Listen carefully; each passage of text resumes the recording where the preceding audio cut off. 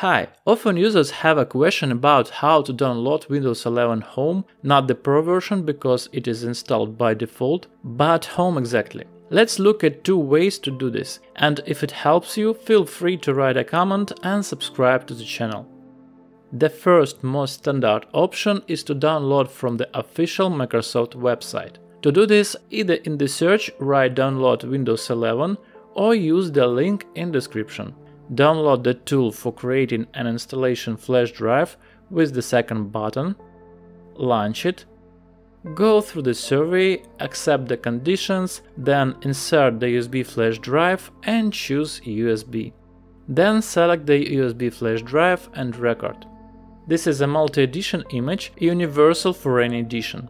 After the reboot, the installation will begin and one of the first windows will ask you for an activation key. If you already have an activation code for Windows 11 Home, enter it and the system will automatically detect the edition and installation of the Windows Home will begin.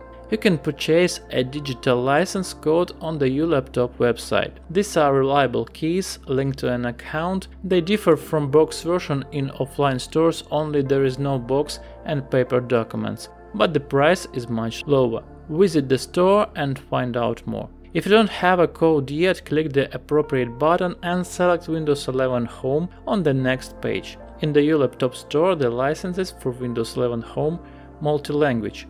But if, for example, you have a laptop with a pre-installed license and it says on it that it is for single language, then choose this option. This version differs in that you cannot change the interface language as in the regular Home Edition. Then the installation continues as usual. Now I will not show it, we have detailed installation instruction, watch it to know the nuances of the correct Windows installation.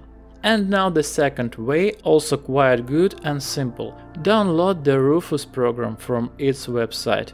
It is a free and useful program for writing images to a USB flash drive, link in description. But here, instead of the select button, switch to the download button. Click and select the Windows version, the latest build and language from the menu. This will also be a multi-edition image from official servers. You can download it with this program or through the browser. When the ISO image is downloaded, insert the USB flash drive, select the image now with the select button and start burning to the USB flash drive with the start button. And then install Windows and do everything as discussed earlier. Write in the comments how you download Windows and which edition you choose. See you soon!